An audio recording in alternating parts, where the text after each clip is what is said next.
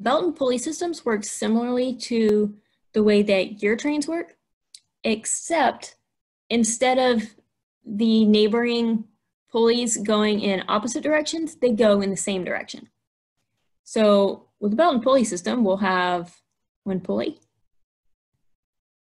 another pulley, and they'll be connected by a belt that's wrapped around them.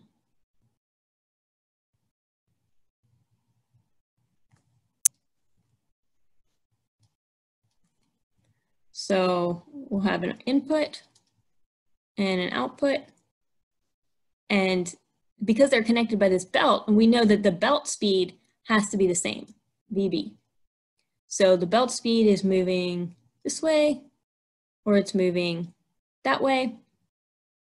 We know that VB is the same for both.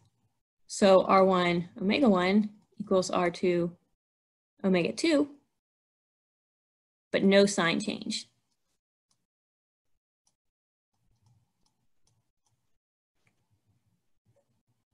So then omega 2 equals R1 over R2 omega 1.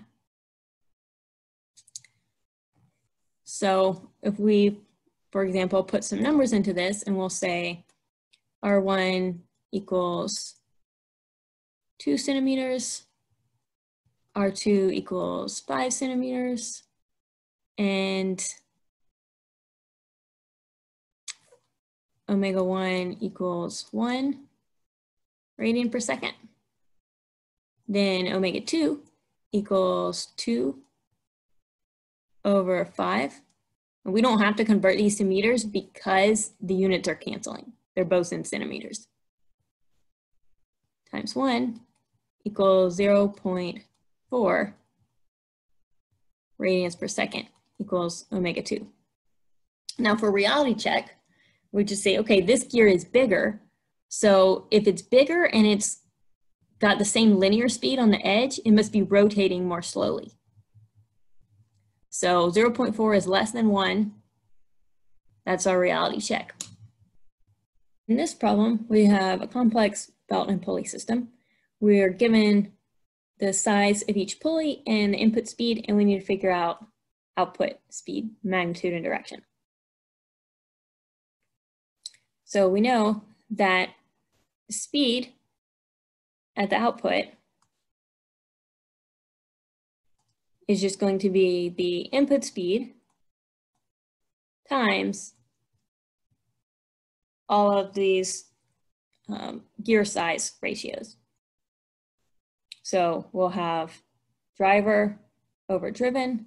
So we'll have RA over RB times RC over RD equals 1 times 3 over 1 times 4 over 2 equals 6 radians per second. And we know that in a belt and pulley system, the directions of motion do not change. So all of these are going to be clockwise.